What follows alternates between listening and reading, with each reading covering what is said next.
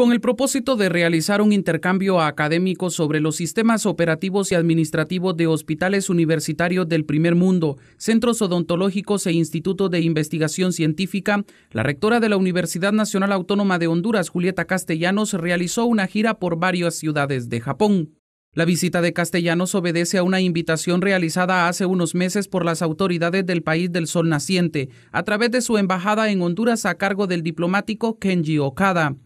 En los últimos días, la rectora de la Alma Mater se reunió con el ministro de Asuntos Exteriores, Fumio Kishida, la directora de la División de América Central y el Caribe, Kobayashi, y el director del Departamento de América Central y Sur, Takano, y con el director general de México, América Latina y el Caribe de MOFA, Akira Yamada.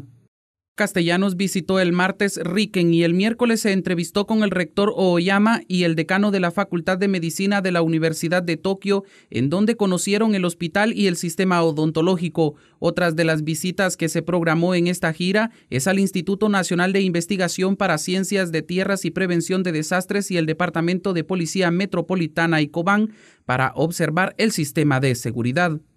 Por otra parte, sostuvo una serie de reuniones con empresarios y funcionarios en las ciudades de Nusushiobara, Tsukuba, Nara y Kyoto para conocer los avances en el mundo de la tecnología, específicamente en la medicina. Frank Schubera, UTV.